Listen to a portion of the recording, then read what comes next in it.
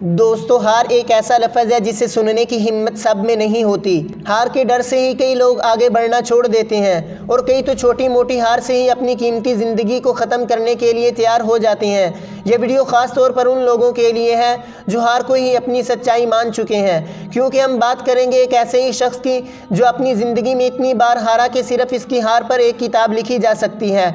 लेकिन इसे पीछे छोड़कर गरीबी और तमाम बाकी मुश्किल को मिलिया मेट करके ना सिर्फ़ वो जीता बल्कि अमेरिका का सबसे अजीम सदर बना, क्योंकि हम बात कर रहे हैं अमेरिका के गुजरे हुए सदर इब्राहम लिंकन की, जिन्होंने अपनी ज़िंदगी में कभी हार नहीं मानी। उनकी क्या है ज़िंदगी की कहानी और कैसे उन्होंने अमेरिका को एक सुपर पावर बना दिया, ये जानने के लिए वीडियो को आखिर तक ज़रूर देखना। और दोस्तों, आगे बढ़ने से पहले आप दोस्तों से सिर्फ़ एक छोटी सी रिक्वेस्ट है, वीडियो के नीचे एक लाल रंग का सब्सक्राइब बटन दिख रहा होगा, उस पर क्लिक करने के बाद साथ बेल आइकन पर क्लिक करके आल के बटन को ज़रूर सेलेक्ट कर लें। और प्लीज़ हमारी मोटिवेशनल के लिए वीडियो को लाइक ज़रूर कर दें। इब्राहम लिंकन की पैदाइश 12 फरवरी सन 1809 में अमेरिका के शहर हार्डन काउंटी में एक लकड़ी के बने हुए घर में हुआ था। इनके वालद का नाम थॉमस लिंकन और वालदा का नाम नैन्सी था। लिंकन के वालद किसान थे और बहुत ही ज़्यादा गरीब थे, इसलिए इनका बचपन बहुत ही ज़्यादा गरीबी और मुश्किल में गुजरा। इब्राहम लिंकन को ज़िंदगी में जिन सदमों, नाकामियों और तलखियों से गुजरना पड़ा, इसकी हकीकत इस बात से यह होती है कि सिर्फ़ छः साल की उम्र में ही इन्हें अपना स्कूल छोड़ना पड़ा और नौ साल की उम्र में इनकी वालदा दायमी सफ़र को रवाना होगी। जिस लड़की से वो शादी करना चाहते थे, उसकी भी मौत होगी। इनकी बहन सारा बच्चे की वलादत के दौरान फोत होगी। उस वक़्त इनकी उम्र सिर्फ़ उन्नीस साल थी। उन्होंने अपनी गरीबी दूर करने के लिए हर काम किया। चाहे वो लकड़हारे का काम हो, पोस्ट मास्टर का काम हो, या फिर खेतों में मजदूरी ही क्यों ना करनी हो। और कुछ वक़्त बाद उन्होंने अपनी ज़ाती मेहनत से कानूनी इम्तिहान पास करके वकालत का पेशा इख्तियार कर लिया। लेकिन इब्राहम लिंकन के वाले चाहते थे कि इब्राहम लिंकन पढ़ाई छोड़कर उनके काम में हाथ बटाए। लेकिन इब्राहम लिंकन को यह बिल्कुल भी पसंद नहीं था। इसलिए उनके घर वाले इन्हें सुस्त और काम चोर कहकर बुलाते थे। इब्राहम लिंकन का ख़ानदान सिया फाम था। हबशियों की नस्ल से ताल्लुक़ रखने वाले थे। और उस टाइम अमेरिका में ब्लैक होने का मतलब था समाज और मुआरे से दूर हो जाना। सफ़ेद फाम लोग ब्लैक लोगों को कमतर और गिरी हुई नज़रों से देखते थे और इन्हें अपने मुआरे के ग़ुलाम समझते थे। इब्राहम लिंकन इस बुरे सलूक को समझते थे। इसलिए उन्होंने सभी मुश्किल को किनारा करके अपना सारा गौर फ़िक्र और मसरूफियात पढ़ाई पर लगानी शुरू कर दी। इसके लिए उन्होंने आम स्कूलों में पढ़ने की बजाय खाना बदोश उस्ताजा से ही पढ़ना शुरू कर दिया। इन उस्ताजा ने उन्हें कम वक़्त में ही बहुत कुछ सिखा दिया था। और अब खाना बदोशी में रहने वाले इब्राहम लिंकन के पास इलम की कोई कमी नहीं रह गई थी। हालाँकि घरेलू मजबूरियों के चलते उन्हें घर का काम भी संभालना पड़ा। उन्होंने कई सालों तक लकड़ी काटने का काम भी किया। वो कुल्हाड़ी चलाने में बहुत माहिर थे और कहा करते थे कि किसी भी दरख्त को काटने के लिए अब मुझे छः घंटे मेहनत नहीं करना पड़ेगी, क्योंकि मैं पहले चार घंटे कुल्हाड़ी की धार तेज़ करने में लगाऊँगा। यानी कि किसी भी काम को करने से पहले उस काम की तैयारी पूरी तरह से की जाए तो वो काम आसानी से किया जा सकता है। लिंकन जब बड़े हुए तो उन्हें सबसे पहले अपनी गरीबी को ख़त्म करना था। इसलिए उन्होंने किराने की दुकान खोली, लेकिन उसे भी बंद करना पड़ा। इससे पहले वो कई काम कर चुके थे, लेकिन उनमें से किसी भी काम में उन्हें कामयाबी नहीं मिली। उन्होंने बचपन से ही अज़म कर लिया था कि मैं ब्लैक फार्म लोगों को माशरे का हिस्सा बनाऊँगा, क्योंकि माशरा ब्लैक फार्म लोगों को अपने माशरे का हिस्सा नहीं समझते थे। इसीलिए उन्होंने अठारह में सियासत का रास्ता पकड़ा और विग पार्टी ज्वाइन की। लेकिन बाद में उन्होंने अठारह में गरीबों को इंसाफ दिलाने के लिए वकालत शुरू कर दी और लंबे टाइम तक यही काम करते रहे। वो इस काम से दौलत तो नहीं कमा सके, लेकिन वो कम फ़ीस में ईमानदारी से मुकदमा लड़ते थे और सिर्फ़ गरीबों का ही मामला देखते थे। लेकिन उनके बिलमुकाबिल खड़े होने वाले वकाला अक्सर तौर पर उनकी बेजती करते रहते थे। एक बार तो वो जज डागला से भी लड़ पड़े थे। वो भी सिर्फ़ गरीबों को इंसाफ दिलवाने के लिए, जिसके बाद उनकी पॉपुलैरिटी खूब बढ़ गई। इसी ने उनके हुक्मरान और सदर बनने का रास्ता साफ़ कर दिया। वो इससे पहले कई बार हार भी चुके थे। सन अठारह में इब्राहम लिंकन ने स्प्रिंगफील्ड में मैरी टोड नाम की लड़की से शादी की, जो हमेशा ये कहती थी कि वो उसी इंसान से शादी करेगी जो अमेरिका का सदर बनेगा। वो इब्राहम लिंकन के ख्याल नज़रियात से बहुत मुतासर थी, इसलिए उनसे शादी भी की। लेकिन दोनों खामद बीवी आपस में हमेशा लड़ते रहते थे।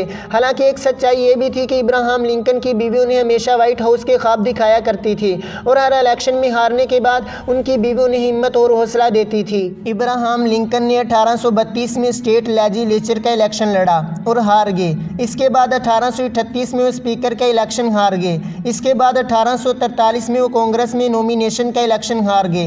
अठारह में उन्हें लैंड ऑफिसर के अहदे से नाअहल करार दे दिया गया, लेकिन उन्हें ओगिनर के गवर्नर का ऑफ़र दिया गया, जिसे उन्होंने ठुकरा दिया। इसके बाद अठारह में वो यूएसए सीनेट का इंतखब लड़ा और बुरी तरह से हार गए।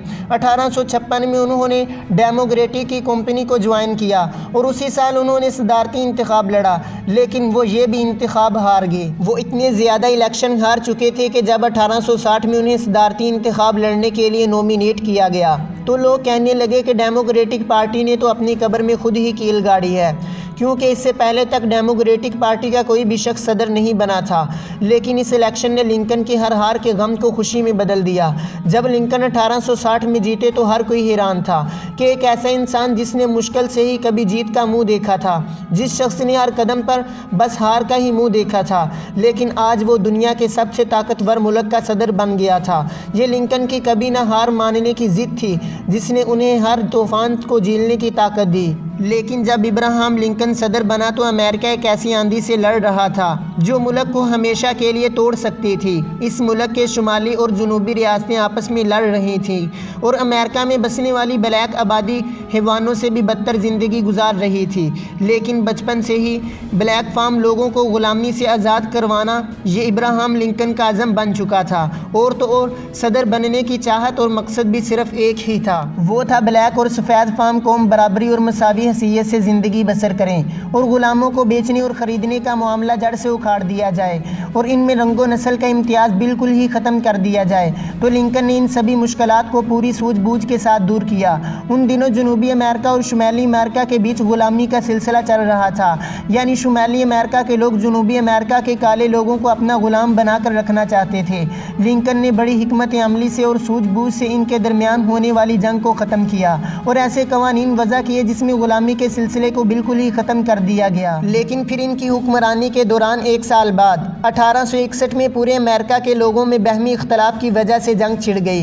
इस दौरान जंग को रोकने के लिए इब्राहम लिंकन ने बड़ी कोशिश की, लेकिन इस जंग को रोकने के लिए भी कई मुल्की जवानों की जान चले गई और इब्राहम लिंकन ने काले और गोरे में चलने वाली ग़ुलामी के सिलसिले को तो ख़त्म किया था, लेकिन जंग के बाद फिर से ग़ुलामी का सिलसिला शुरू हो उठा। इस ग़ुलामी को ख़त्म करने के लिए इब्राहम लिंकन ने सख्त इकदाम उठाए। और हर ग़ुलाम को आज़ाद करने का हुक्म दिया। और जो ऐसा नहीं करता था, उसे बारी बरकम जुर्माना किया जाता था या फिर अपनी ज़िंदगी से ही हाथ धोना पड़ता था। इस सख्ती को देखकर फिर से ग़ुलामी का सिलसिला मुल्क से पूरी तरह से ख़त्म हो गया। और उन्होंने अठारह में ये कहा था कि मैं जिस अज़म को लेकर उठा था, आज वो ग़ुलामी पूरी तरह से अमेरिका में ख़त्म हो चुकी है। और अठारह सौ पैंसठ में मुल्की मुखालिफिन के हाथों इनकी मौत हो गई। मुल्की मुखालिफिन ने इन्हें कत्ल करवा दिया था, लेकिन इनके मुहिबीन इनकी मौत पर फूट फूट कर रोए थे। दोस्तों, अठारह सौ सड़सठ में इस दुनिया से बिल्कुल ही ग़ुलामी का सिलसिला ख़त्म हो गया था। दोस्तों, अगर ये आज ग़ुलामी का सिलसिला नहीं है तो सिर्फ़ इब्राहम लिंकन की वजह से। उन्होंने इंसानियत का हक अदा कर दिया और उन्हीं की वजह से दूसरे मुल्कों में भी इस ग़ुलामी के सिलसिले को ख़त्म कर दिया गया। दोस्तों, इनकी कहानी हमें सिर्फ़ आगे बढ़ना ही नहीं सिखाती, बल्कि वो ये भी बताती है कि गिर कर खड़े होना और अपने मकसद की तरफ़ बढ़ते रहना सिर्फ़ और सिर्फ़ इंसान होने की पहचान है। ये कहानी उन लोगों के लिए सबक है जिन्हें ज़िंदगी की छोटी छोटी मुसीबतें भी पहाड़ लगती हैं, इन्हें लिंकन से सीखना चाहिए और हमेशा खुद को बेहतर और बेहतर बनाने की कोशिश करते रहना चाहिए। दोस्तों, इसी कामयाबी का नतीजा है कि इनकी ज़िंदगी पर मुकम्मल तेरह हज़ार बुक्स लिखी जा चुकी हैं और सैकड़ों फ़िल्में और ड्रामे बन चुके हैं। अमेरिका भर में इनकी यादगारियाँ फैली हुई हैं। दोस्तों, आज इनका मकबरा स्प्रिंग में मौजूद है। दोस्तों, इब्राहम लिंकन की नस्ल आगे नहीं बढ़ सकी। इनका सिर्फ़ एक ही बेटा था और वो भी बे औलाद होकर इस दुनिया से दैमी सफ़र को रवाना हो गया और हमेशा हमेश के लिए ये ख़ानदान अपना नाम इस दुनिया में रोशन कर गया।